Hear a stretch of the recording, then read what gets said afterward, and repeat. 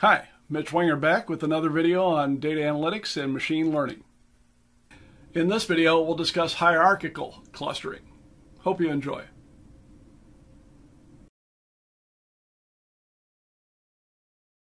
Okay, let's get started. Hierarchical clustering creates a decomposition of a set of data objects. We have two main approaches we can use here. First, we can work from the bottom up, so from individual data points to clusters. And we call this an agglomerative approach, bottom up. And eventually we end up with one big cluster that has everything or some certain termination condition holds. The other way is we can use a divisive approach, top down. So we start with all the objects in one cluster and then we successively split the cluster up into smaller clusters and yet smaller clusters, again, until a certain termination condition holds or until everything's broken out and you have n clusters each with one of the data points. Now, one of the disadvantages is once a merge or split has been made, it can't be undone. So erroneous decisions can't be corrected like they are in k-means clustering, where the mean gets recalculated and then points get reallocated to different clusters. Once a split or an agglomeration has been made, it sticks. Hierarchical clustering measures for distances between two clusters a number of different ways. The minimum distance between two data points, the maximum distance between two data points in the same cluster, the mean difference in the cluster, and then also the average of all single distances between all data points in the cluster. And as you can see here, clusters can be presented as dendrograms like we saw before, or in a radial view like this. You'll often see really big complex ones displayed radially like this. Now, the user can specify how many clusters they want as a termination condition. And this is a critical decision along with where to split or merge the various groups. Now, there are a number of issues with hierarchical clustering. There is the risk that we will end up with some low quality clusters.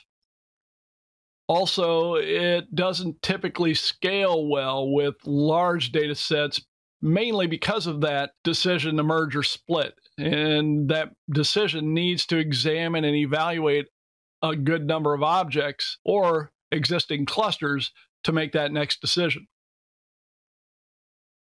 So that circular dendrogram is one way, and we see that often in taxonomies.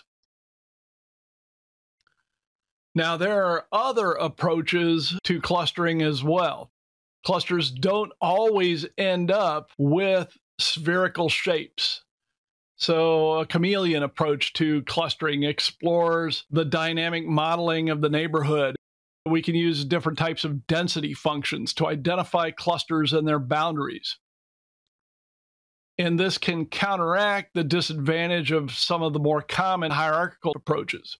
So, two clusters end up being merged if we find that the interconnectivity and closeness between the clusters are highly related to the internal interconnectivity and closeness of objects within the clusters. Generally, we'll use some kind of a graph partitioning algorithm to cluster these data objects into a large number of smaller temporary clusters and then combine and merge these subclusters with an agglomerative approach using some type of algorithm. So you can actually use a k nearest neighbors type approach here to build a chameleon type cluster as well. Your data objects end up connected to each other. One object ends up among similar objects of another cluster. You can use a neighborhood radius approach to evaluate the density of the region to help find the clusters and in a very dense region, well, that neighborhood is going to be defined very narrowly and tightly. In a sparse region, it'll be defined a little more loosely, widely. So you could kind of say the boundaries of the dense region end up being more well defined. They have more physical mass. DB-SCAN is another approach. It stands for density based spatial clustering of applications with noise. that's another one that's agglomerative in nature. So DBSCAN, as it turns out, is actually one of the most common clustering algorithms in use today, and it's also widely cited in the scientific literature. DBSCAN takes the approach that it continues to grow given clusters as long as the density, the number of objects or data points in the cluster or in the neighborhood exceeds some kind of a threshold. It can also discover clusters with arbitrary shapes due to the fact that it's not using distance between data objects for the clustering, it's using a density approach.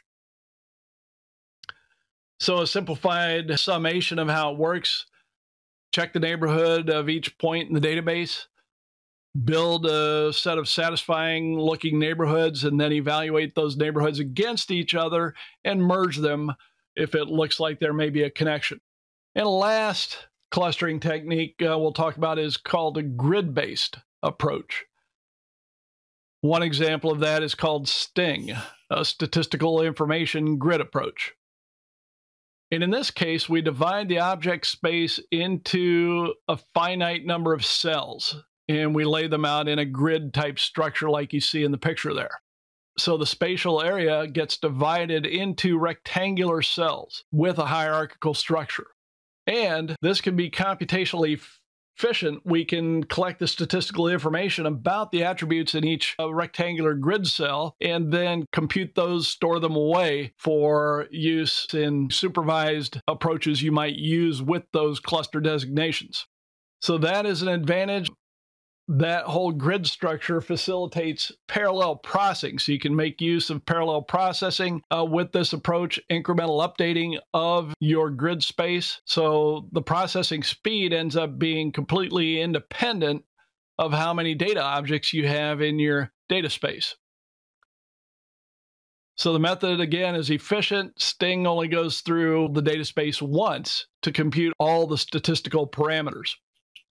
And then the queries coming out at decision time are much smaller due to the small number of uh, grid cells we have at that lowest level.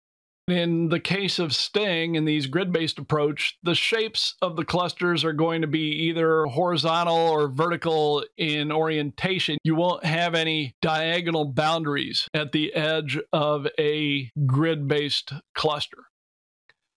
So in essence, you end up with a layout of the clusters that's similar to the decision space you would see in a tree-based approach.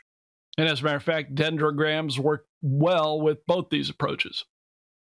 So that is our discussion of hierarchical clustering. I hope you found it informative. Be sure to check out the other videos in this series.